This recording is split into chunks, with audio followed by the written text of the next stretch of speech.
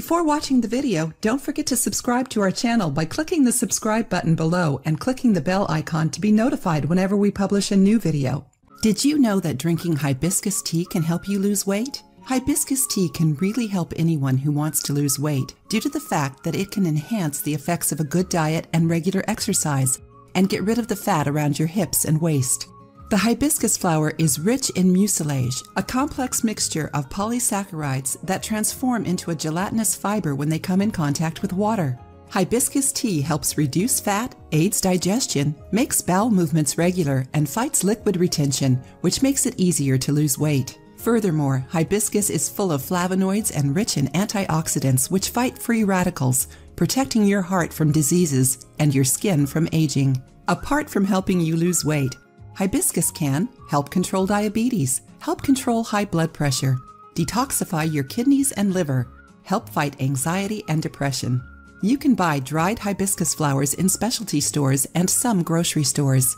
If you want to lose weight, the best thing for you to do is add some other ingredients to your hibiscus tea that will quicken your metabolism. Take a look at this recipe.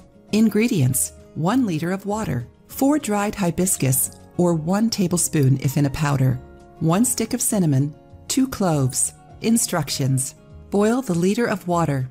Once it starts to boil, add the ingredients and wait 3 more minutes. Other important tips The best thing to do is start by drinking a cup a day and gradually drink it more often, up to 3 times a day. Drink this tea between meals, especially whenever you feel like raiding the fridge. It will trick you into believing you aren't hungry anymore. Try not to sweeten the tea. Hibiscus tastes nice kind of like raspberry, so it shouldn't be hard to get used to its flavor. Avoid eating a lot of salt since it causes liquid retention. Use other spices such as oregano, parsley, and rosemary. Don't eat lots of refined carbohydrates, white rice, bread, pasta, desserts made with white flour. Try and use the whole grain versions that will make you feel full for longer. Normally, hibiscus tea doesn't have any side effects, However, people with hypertension and pregnant or breastfeeding women should talk to their doctors before drinking this tea. If you like the video, give it a thumbs up and share it with your friends. For more recipes and tips, subscribe to the channel.